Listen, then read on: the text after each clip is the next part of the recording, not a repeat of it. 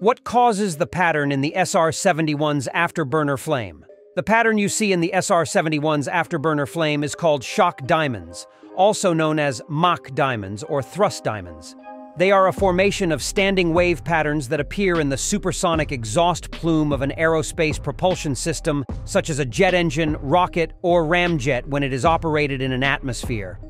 Shock diamonds form when the supersonic exhaust from the engine is slightly overexpanded, meaning that the pressure of the gases exiting the engine is less than the ambient air pressure. The higher ambient pressure compresses the flow and causes a reduction in velocity and an increase in temperature.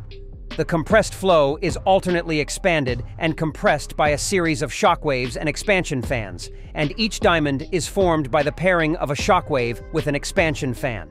When the compressed flow becomes parallel to the center line, a normal shock wave perpendicular to the flow forms called a Mach disk. This locates the first shock diamond, and the space between it and the engine is called the zone of silence.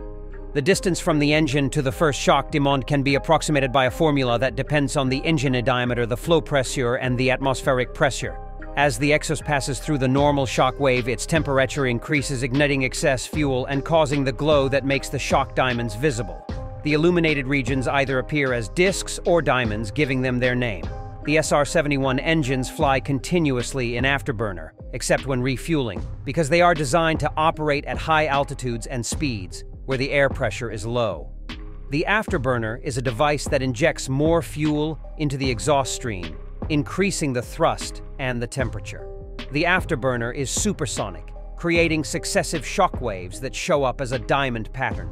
The SR-71 is one of the most famous examples of an aircraft that produces shock diamonds, but they are also seen in other aircraft, rockets, and missiles that use supersonic propulsion systems.